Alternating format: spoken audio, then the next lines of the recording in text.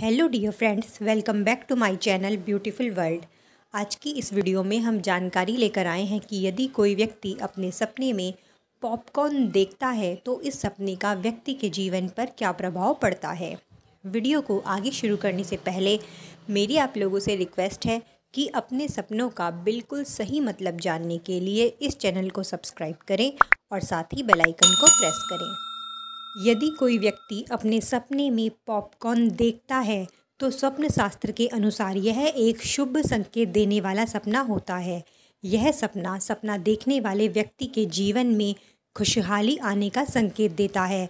आने वाले समय में व्यक्ति को किसी शुभ समाचार की प्राप्ति होगी, इस बात का भी यह सपना संकेत देता है। इसके अलावा यह सपना व्यक्ति को धन लाभ होने का भी संकेत देता है। इसके अलावा यदि सपना देखने वाला व्यक्ति सपने में खुद को पॉपकॉर्न खाते हुए देखता है तो यह भी शुभ सपना होता है। यह सपना आने वाले समय में व्यक्ति को उसके कार्यों में सफलता मिलने का संकेत देता है। आने वाले समय में व्यक्ति को मनोरंजन के किसी नई जगह पर घूमने के सैर सपाटा करने के मौके मिलेंगे। इस बात का भी यह सपना संकेत होता है।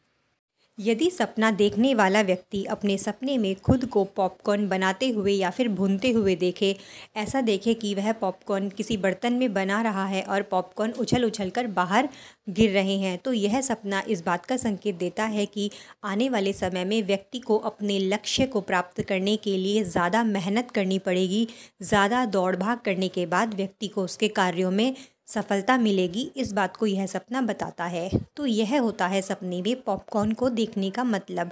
उम्मीद है आप लोगों को जानकारी पसंद आई होगी। वीडियो को लाइक करें शेयर करें और अपने सपनों का बिल्कुल सही मतलब जानने के लिए इस चैनल को सब्सक्राइब करें। Thank you